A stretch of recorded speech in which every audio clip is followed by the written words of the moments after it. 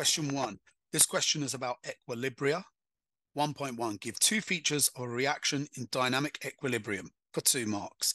So two features of a reaction, obviously it's a reversible reaction in a closed system. You need those two features in order to achieve dynamic equilibrium, but they're not the answers because once you've reached dynamic equilibrium, you must have already had a closed system and your reaction must have been reversible. So don't put those as the answers because they're what you need to achieve a dynamic equilibrium.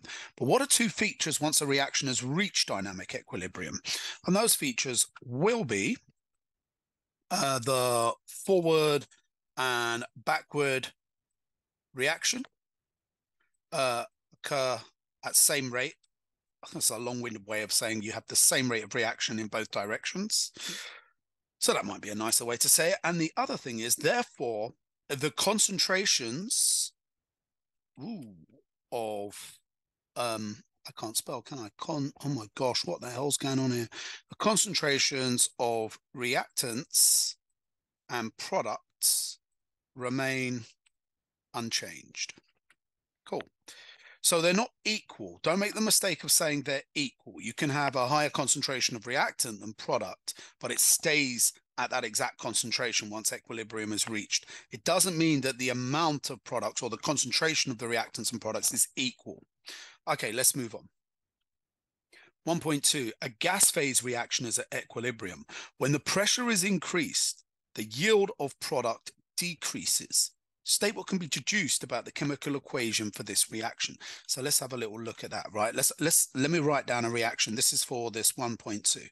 So for example, you could have methane. This is just an example of a reaction and will help me explain it to you, what's going on. So you can have a reaction with methane and water. And this is going to form carbon monoxide. By the way, that's supposed to be a reversible symbol there. I've not done a very good job on that middle arrow, have I? Right. Uh, we're doing, we're dealing with equilibrium. So, okay. So, um, in this situation, how many moles of pro, uh, product and reactant are there? Well, I've got two moles of reactant and I've got four moles of product. Why four moles? Because once I balance it, I'll need three of those to make up for the H2 and the CH4. So I've got four moles of product and two moles of reactant. When the pressure is increased, so when we step the pressure up, what do you know? You know that when we increase pressure, Le Chatelier's principle says the equilibrium will shift in the direction of the least moles. So what we can tell from this reaction is as the uh, amount of product decreased, the equilibrium must have shifted this way to the side with the least moles. So it tells you that the reaction we're dealing with is just like this reaction where we have more moles of product than reactant. So what can we learn about this reaction? We can learn that there are more whoa, moles. You can say molecules, but there are more moles, molecules of product, and that's going to be in the gaseous phase. Uh, it, yeah, it's got to be gaseous to affect the pressure or to be affected by the pressure. So more moles of product. That's what we learned. Hokey cokey. 1.3 carbon monoxide and hydrogen reactor form methanol. I Can't really read this. I've got the sunlight blaring on my screen. Carbon monoxide gaseous plus two hydrogen molecules gaseous. Reversible symbol goes to methanol gaseous. 0.43 moles of carbon monoxide is mixed with 0.860 moles of hydrogen at equilibrium. The total pressure in the, oh, sorry, at equilibrium, the total pressure in the flask is 250 kilopascals, and the mixture contains 0.110 moles of methanol. First of all, calculate the amount in moles of carbon monoxide present at equilibrium, then calculate the partial pressure in kPa of carbon monoxide in this equilibrium mixture for three marks. Right, what I'm going to do, I'm going to do the old ICE. So I'm just going to rewrite out this equation and this is quite similar if you're doing KC and you just asked for amounts of things at um, equilibrium. I use the ICE table. Um, you can just do it in your head, to be honest, but a lot of people find using the ICE kind of table the best method. So I'll, I'll do the ICE method. Oh my days. This is quite disgusting. Right, so what is the ICE method? Well, I stands for initial, moles, uh, C stands for the change in moles and E stands for the moles at equilibrium. So what were the initial moles of carbon monoxide? They were 0.430. And what were the initial moles of hydrogen? They were 0.8. Gosh, this is getting messy. Six. Oh, I could have done this nicer. Uh, what about the initial moles of methanol? Well, at the start of the reaction, there wouldn't have been any methanol. We haven't reached equilibrium yet. But once we reached equilibrium, it tells us there were 0.110 moles of methanol. So we can now hit the change. So you do the reactants first and the product at equilibrium. And then your next step is to fill in the change. So what was the change in moles of methanol? Well, that would have been 0.110 because it went from 0 to 0.110, so it changed by 0.110. But what did the hydrogen change by? Well, what we do is we look at the ratio and we say, right, the ratio of hydrogen to methanol is 2 to 1. So the hydrogen went down by double that because the ratio was 2 to 1. So the hydrogen went down by 0 to 2 and that could tell me, not that the question wants it, but if I wanted to know it, that would tell me how much hydrogen I have left, wouldn't it? Because once you remove 0.220, we'd have 0.640 left. Okay, let's look at the one the question's actually asking us about. So we had 0.30 of carbon monoxide. Now, the carbon monoxide reacted in a one-to-one with the methanol, so it means that it changed by exactly one-to-one. -one. So it changed by 0.110. So subtract that from 0.430 and you get left with 0.320. So that is your moles of carbon monoxide at equilibrium. Good. Right, next bit, we need to work out the KPA. And in order to work out um, the partial pressure, we first, uh, what I would say is first work, if you're asked to work out the KPA of a particular substance within a reaction, first work out mole fraction of compound or the gas. So we want to first work out the mole fraction. And then our second step, secondly, we want to uh, multiply mole fraction by total pressure.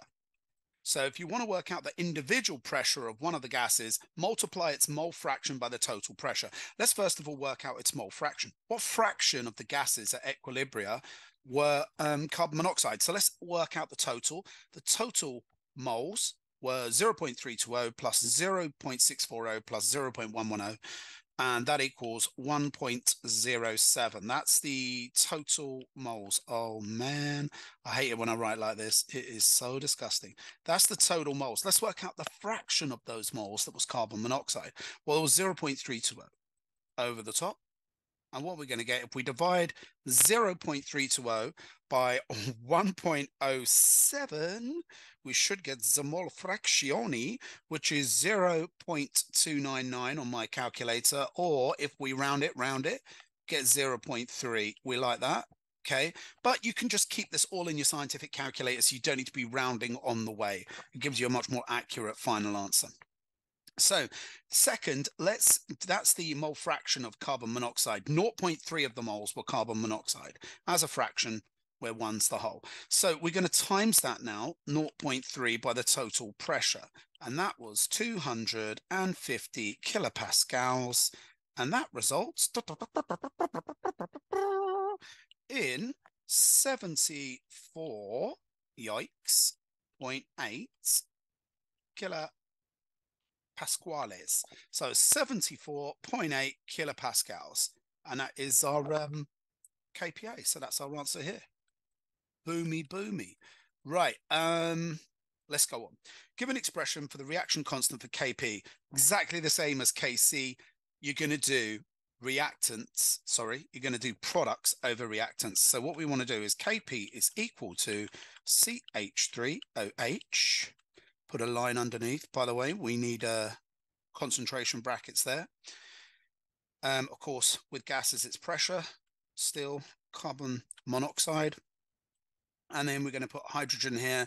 The only thing we need to add here, the only complication is there are two hydrogens. So we put to the power of two there, and that is your expression for KP.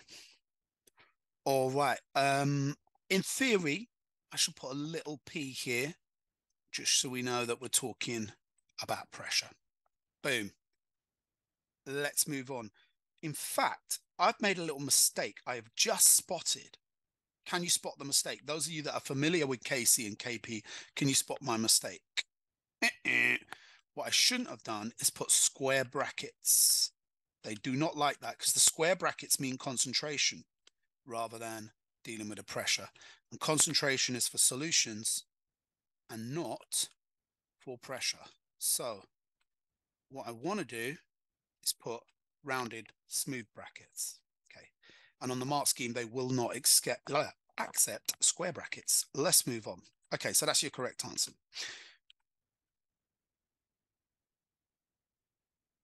Okay, we're nearly at the end of the first question. Two more parts to go. So 1.5. A different mixture of carbon monoxide and hydrogen is left to reach equilibrium at temperature T. Some of the data for this equilibrium are shown in table one. We've got partial pressure CO 125 kPa, partial pressure of methanol uh, C CH3OH is 5.45 kPa, and then Kp um, is 1.15 times 10 to the minus 6 kPa to the minus 2. Calculate the partial pressure in kPa of hydrogen in this equilibrium mixture. All you have to do here, guys, is um, CH3, I've got to rewrite that all out. So we want to write out the expression again. So we're going to rewrite out the expression. No, not with that. We're going to rewrite it like this. And then we're going to do H2. We're going to put to the power of 2. And that equals um, 1.15 times 10 to the minus 6. All we need to do is rearrange this. If we rearrange this, we will get the exact same thing. Oh my gosh, so much better to type it. All we're going to do is swap the places with the KPA times 10 to the minus 6 equals um, h2 to the power of 2. Now, what else do we have to do? So I need to put those numbers in. This is going to be 125. Uh, over here is going to be 5.45 for the carbon monoxide. The only other thing I need to do, I need to get rid of that little 2 there. So we're going to square root all of that. And that's going to then square root that. And that's going to get rid of that. And we're going to be left with our KPA for hydrogen. So we're going to whack that into the calculator. And when we do that, we get 194.7. Boom. Good. Like, share, subscribe, leave a comment.